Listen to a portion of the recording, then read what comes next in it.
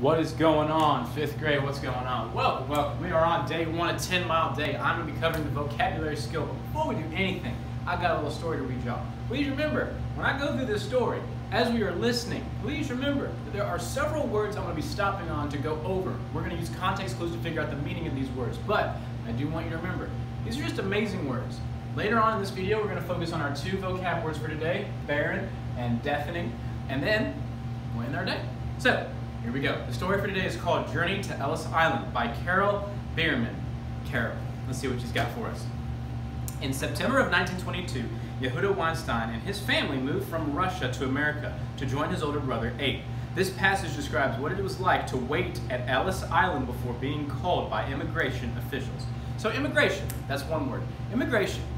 So, keep that in mind. The next morning, the Weinsteins were taken to the main building on Ellis Island. Second thing, Ellis Island. We're going to come back to what that is in a minute, but note that is where this is taking place.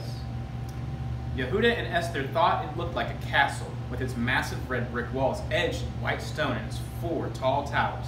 America must be a really rich country if they have such a beautiful building just for people coming here, Yehuda exclaimed.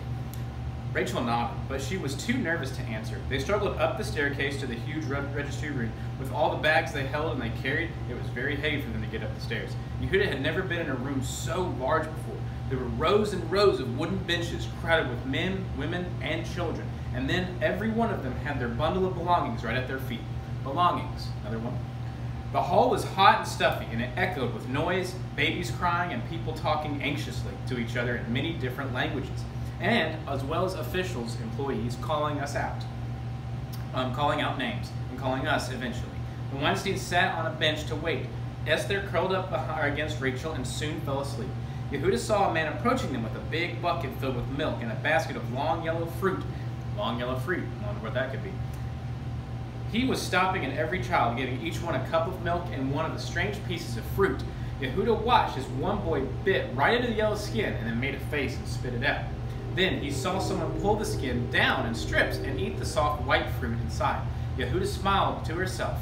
Every day in America, he was learning something new. So bananas, they must not, they must come from somewhere that doesn't have bananas. This is the first time them seeing what bananas are, which, you know, good on them. Bananas are awesome. So, continuing, when the man reached Yehuda, he gave him a banana and one to save for Esther. Yehuda, Yehuda ate his banana hungrily and gulped down the warm milk but he was still thirsty.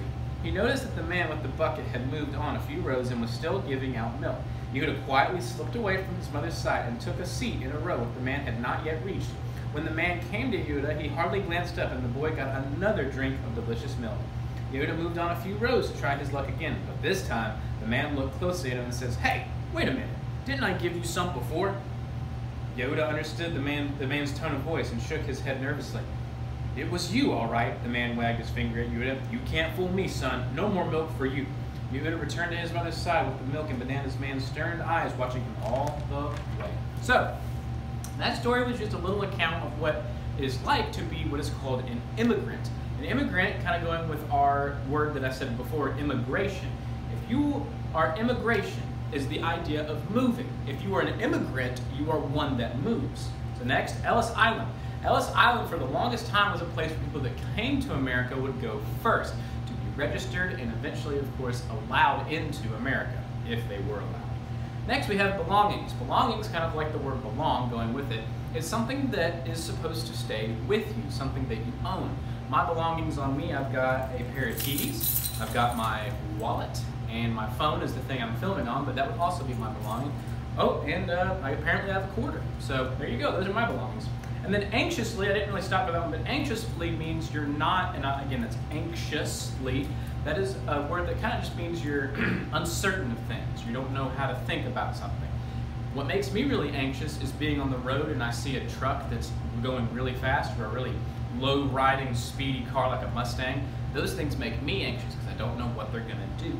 They don't usually use their blinkers because they don't got time for that, and they go really fast. So that's our story. That's Journey to Ellis Island. Now, last thing, we have two vocab words that we're looking at today. The first one being barren, and the second one being deafening. I'm going to start with barren. Now, barren means essentially it's a place or a state. I don't mean state like Alabama. I mean like almost like a status on Facebook.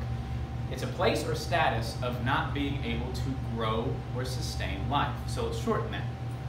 So, unable to hold slash keep life.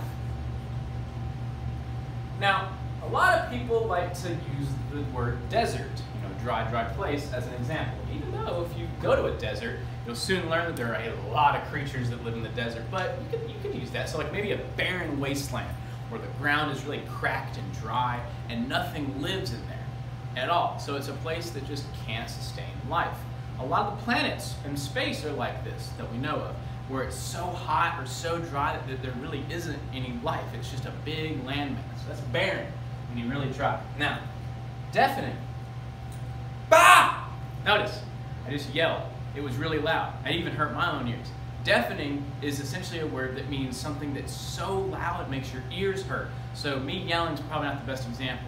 A good example would be you're on the side of the road and you're walking, and then a dump truck or a really big semi truck, or even really, or even worse, one of those 18 wheeler trucks comes right next to you, and you hear that roar of the engine and the clankety clank of the trailer behind it. That would be deafening. It hurts your ears. You're like, how? Or if you have headphones in and you turn up the volume way too loud by accident, ooh, yeah, that would really hurt. So, really loud hurts ears.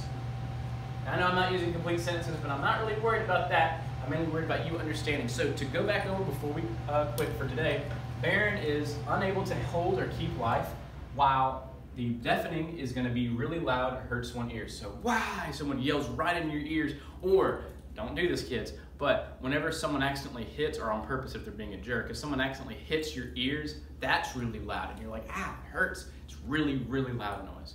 Well, guys, this has been day one of vocab. Hope we're having a great day today. Uh, it is Friday, so I know we're all really happy to get the weekend. I know I am. I hope you guys keep it safe out there, and I will see you in the next video. Toodaloo.